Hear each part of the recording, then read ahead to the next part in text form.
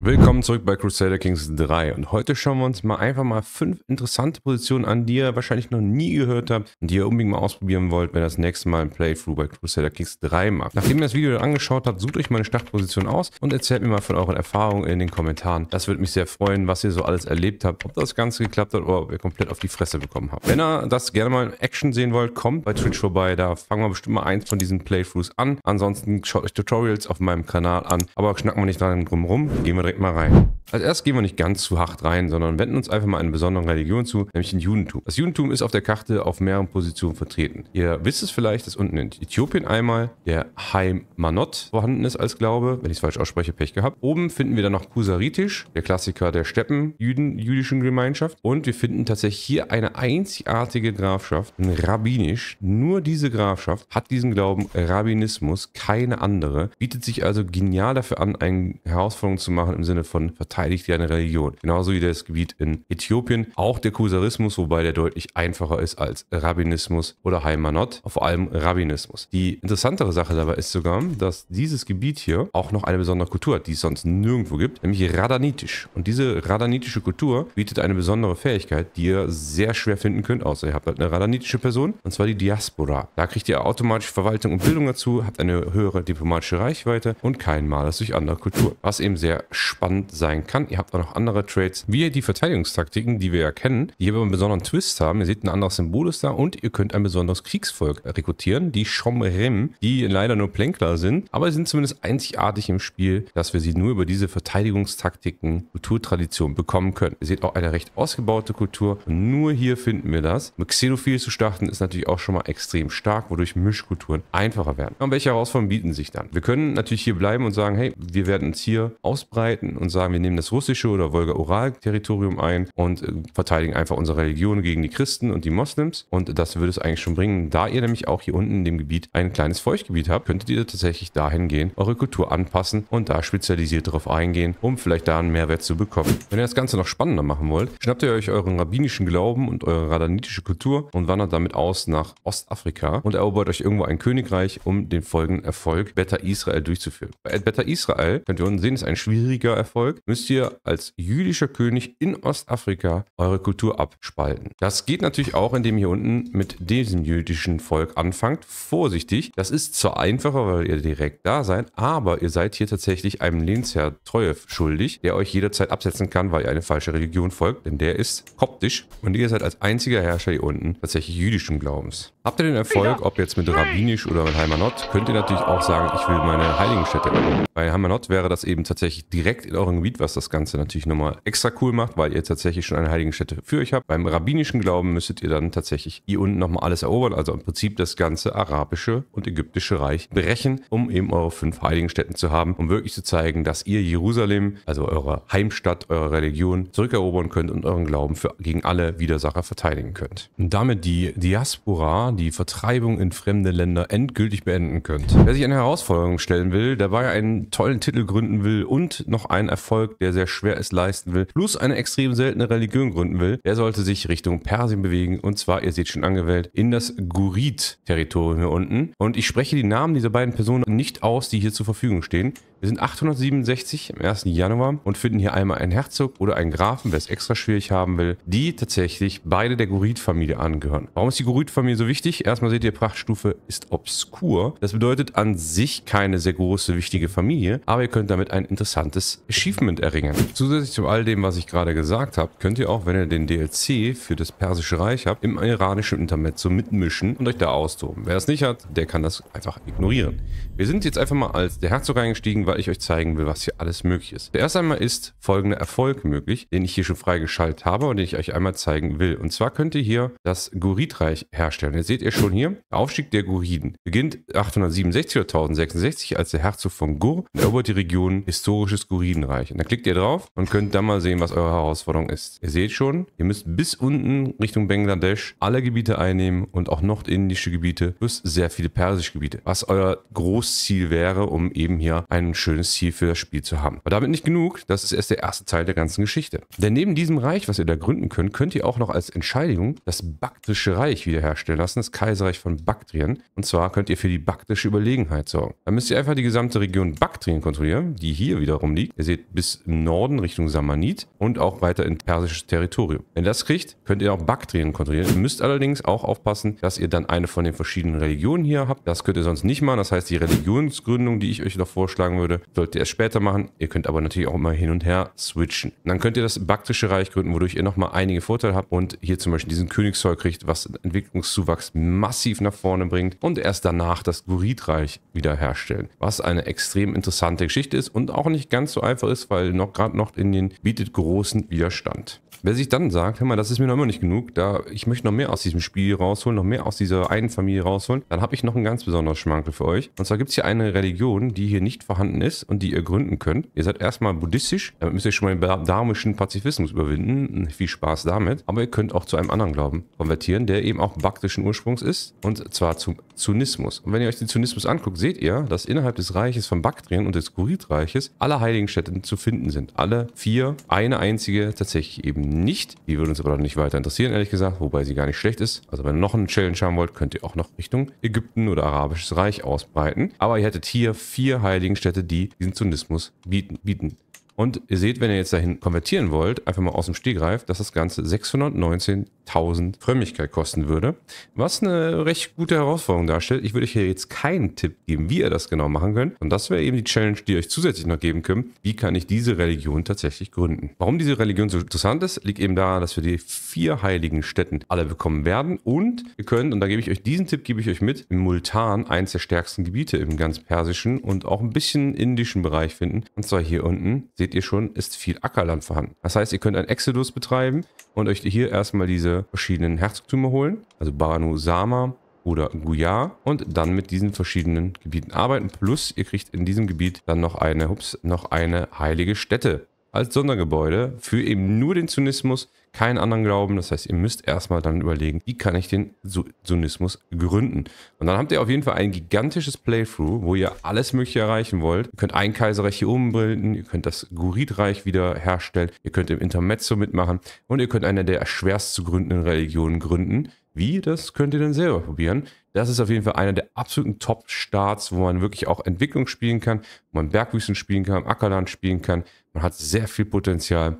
Viel Spaß damit. Ein weiterer interessanter Start führt uns tatsächlich Richtung Afrika wieder. Haben wir diesmal nach Westafrika und nicht irgendwie auf Landmasse, sondern Richtung Kanaren. Wir sehen nämlich hier drei Gebiete. Da oben haben wir Madeira, hier unten haben wir die anderen kanarischen Inseln. Und diese kanarischen Inseln bieten etwas ganz Besonderes, nämlich eine einzigartige Religion. Wenn wir jetzt einfach mal hineingehen, dann können wir sehen, dass diese Religion nur hier zu finden ist nirgendwo anders. Es gibt also ganze drei Grafschaften, also diese drei Inseln, die wir haben, oder Inselgebiete, die wir haben, die diese Religion haben. Sonst nichts. Und sie bieten den interessanten Mechanismus, dass wir tatsächlich nach Tunesien, Spanien und Ägypten kommen müssen, um unsere heiligen Städte zu bekommen, wenn wir eben bei dieser heiligen Stätte bleiben wollen. Was sehr, sehr interessant ist, die haben auch, wie ihr sehen könnt, recht besondere Boni, zum Beispiel Kriegsvolksunterhalt pro Schrecken minus 0,20. Titelschaffungskosten werden geringer, wir haben mehr Schrecken generell und das sind so Sachen, die wir kaum irgendwo anders finden. Das hier schon, mit der Bildung pro Hingabestufe ist natürlich auch sehr mächtig. Was mir hier im Nachhinein beim Editieren auffällt, ist, dass die Kanaren die einzige Startposition ist oder sind, die ich tatsächlich als Stammesregierung hier vorgestellt habe. Natürlich ist generell der Tipp, wenn ihr richtig Bock auf eine Herausforderung habt, nimmt Stammesregierungen. Bei den gewissen Erfolgen, die ich euch vorgestellt habe, ist das nicht möglich. Bei den jüdischen Fraktionen gibt es allerdings die kusaritischen Stammesherden.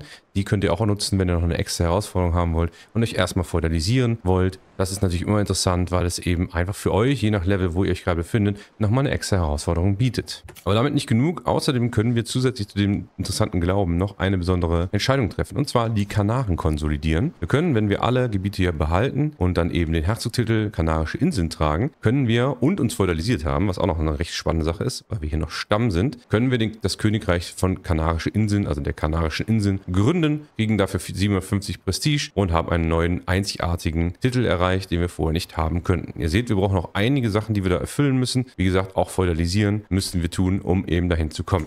Und dann von da ausgehend oder zwischendurch könnt ihr richtig schön in Spanien eindringen und tatsächlich euch Cartagena hier unten gönnen als Heiligenstätte, die wir hier unten finden. Und diese Heiligenstätte dann tatsächlich dafür nutzen, um ins spanische Intermezzo oder wie es halt mal heißt, Zwischenspiel hineinzukommen, um da tatsächlich mitzumischen. Dürft allerdings nicht den Glauben ändern, also müsst ihr schauen, wie ihr das genau macht. Ihr könnt auch einfach aus Spaß sagen, ich erober komplett Spanien und beende damit dieses Intermezzo mit meiner Religion. Ihr könnt natürlich auch die Religion ablegen und dann eben hier eine Religion nehmen, um euch auf jeden Fall in dieses Zwischenspiel hineinzubringen. Und von da aus könnt ihr dann sehr schön Tunesien angreifen und als vielleicht letztes Ziel Ägypten oder das Arabische Reich von innen heraus zerstören um eure, eure, Religion wirklich nach vorne zu bringen. Das ist ein sehr interessanter Start. Damit kann man sehr gut auch mit der Spanien Mischkultur machen und da die starken Vermächtnisse nutzen, um ein sehr starkes Stadtspiel zu spielen. Sehr interessant, sehr einzigartig, gerade eben, weil es so abgelegen ist und eine einzigartige Religion bietet. Der nächste interessante Startpunkt ist im tibetanischen bzw. indischen Bereich. So haben wir hier zwei Religionen, die sehr selten sind, zwar Keratismus und Humanismus. Hier sind generell viele Religionen, die sehr interessant sind, also da könnt ihr euch auch generell austoben, aber diese Heiligenstädte sind halt sehr nah im Himalaya-Gebirge zu finden, weswegen sie recht spannend sind und dadurch ein Unterschied sind zu den klassischen Bönpoish, was wir hier oben finden, in verschiedener Form,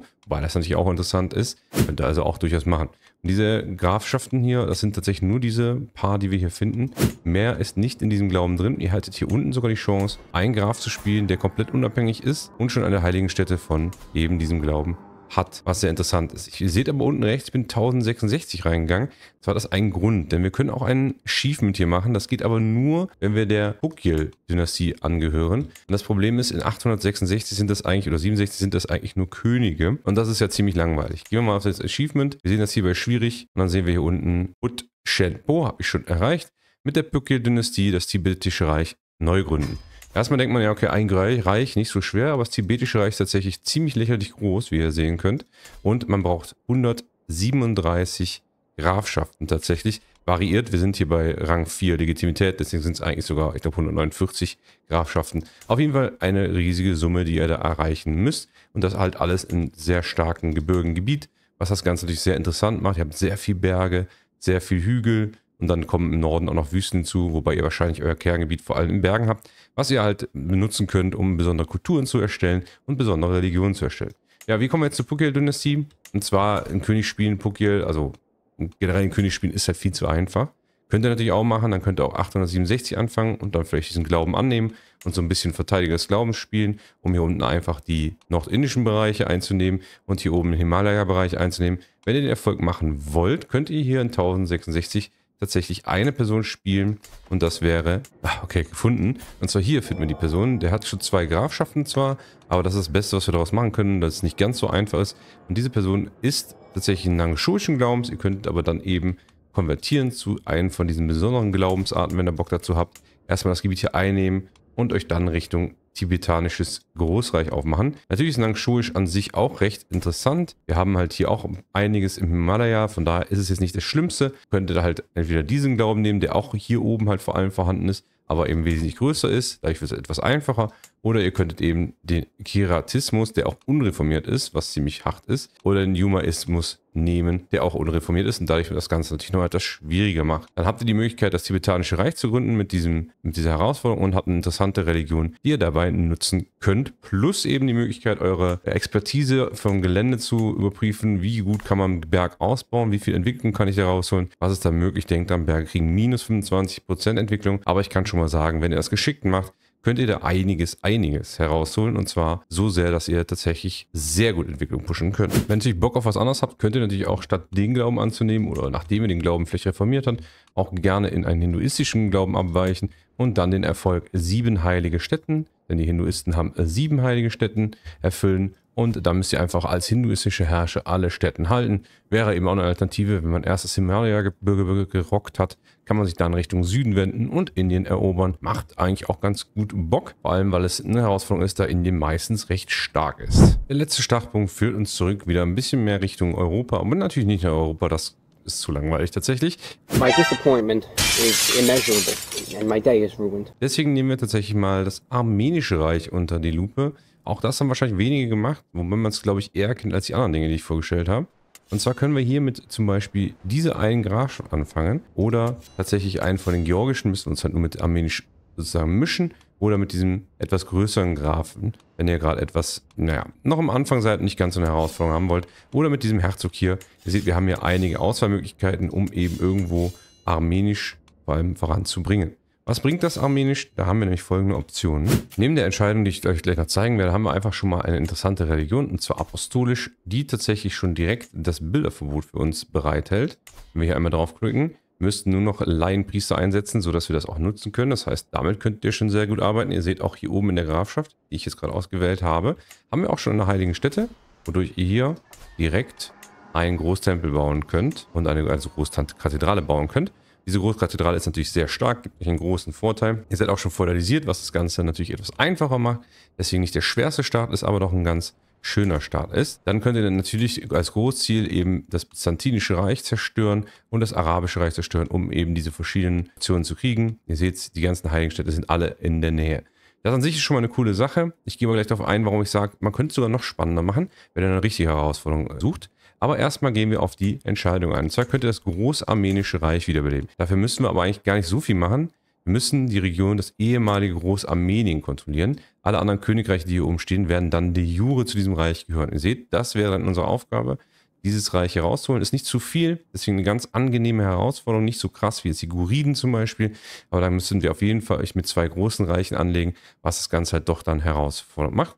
Und dann würdet ihr die Jure von Dailam und so weiter, Syrien und allen anderen Königreichen tatsächlich Titel beanspruchen können und damit ein schönes Großreich gründen. Das Ganze wäre aber jetzt ja noch nicht spannend genug. Wenn ihr nicht nur eine extra Herausforderung haben wollt, dann geht ihr natürlich noch einen Schritt weiter, statt nur die beiden großen Reiche, die ja oft auch auseinanderfallen, zu zerstören, könnt ihr jetzt dann noch eine Religion gründen, die natürlich hier in dem Bereich vorkommt. Ihr müsstet dann das Byzantinische Reich noch mehr zerstören und könntet dann eben die klassische Religion, die hier herrscht, oder nicht mehr herrscht eher, wiederbeleben nicht den Hellenismus. Haben wir wahrscheinlich schon mal alle mal gehört, ist aber gerade mit der Kombination von Armenien sehr spannend. Ihr seht nämlich, unsere Heiligenstädte wären dann Richtung Byzantinisches Reich, also Athen und Ägypten, Tunesien und auch Rom. Warum das natürlich ganz spannend ist, wenn ihr mal schaut, ist es auch deswegen, weil ihr dann das Heilige, oder nicht das Heilige Römische Reich, sondern die Römische Republik, also die römische, antike Römische Reich wiederbeleben könnt, was auch eben eine Herausforderung ist. Außerdem müsst ihr dann den Hellenismus noch reformieren, was ihr aber ohne Probleme hinkriegen könntet. Müsstet also erstmal zu diesem Glauben konvertieren, was, wie ihr sehen könnt, momentan 800.000 kosten würde, aber eben eine sehr nette Herausforderung darstellen würde. Zeigt mal, dass ihr das gebacken bekommt. Und dann könnt ihr, wie gesagt, die Herausforderung aus der Asche das römische Reich wiederherstellen machen. Da werdet ihr eh die Gebiete brauchen von Tunesien und eben auch von Byzanz und von Ägypten. Nur dann könnt ihr diese Entscheidung überhaupt treffen. Ihr müsst noch viele andere Bedingungen dafür machen. Da lasse ich euch aber mal selber so ein bisschen da stehen. Ich kann nur sagen, die Hellenismus schon mal zu haben, plus halt Rom, ist schon mal ein guter Anfang. Dann solltet ihr am besten noch irgendwie eine römische, römische Kultur vermischt haben. Das kann man ja auch machen, indem wir hier hingehen und hier halt diese romanische Herkunft herstellen. Das ist dann, alles andere ist dann tatsächlich euch überlassen, wie ihr das angehen wollt und wie groß ihr dabei werden wollt und wie mächtig ihr werden wollt. Ergänzt sich aber sehr schön, finde ich persönlich, mit diesem armenischen Playthrough, wo er erstmal das Reich gründet und dann wirklich komplett hier ausrastet und Hellenismus gründet oder schon vorher Hellenismus gründet und dann eben diese Gebiete vom Römischen Reich, also antiken Römischen Reich, einnimmt. Außerdem wäre es wieder eine Hügel- und Berggeschichte oder ihr könntet euch halt mit Konstantinopel und den Gebieten auch eine richtig leckere Kultur zusammenbauen. Das sind eigentlich so fünf Startpositionen. Natürlich gibt es noch ganz viele andere Sachen. Wenn ihr noch mehr davon haben wollt, schreibt es einfach mal in die Kommentare. Dann gehen wir mal ein bisschen nach Spezialgebäuden, womit man sehr gut anfangen kann.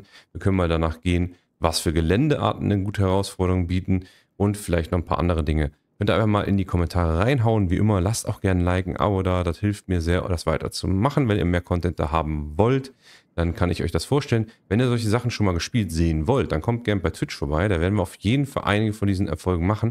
Und es gibt auch noch immer einige mehr Herausforderungen, die auch bei Twitch schon dargestellt worden sind, wie nordische Erfolge oder sowas wie kuschitisches Reich gründen. Von daher findet ihr da alles Mögliche. Ansonsten schaut euch gerne die Tutorials an und versucht mal diese fünf Herausforderungen zu machen und erzählt mir mal von euren Erlebnissen, ob das denn alles so gut geklappt hat.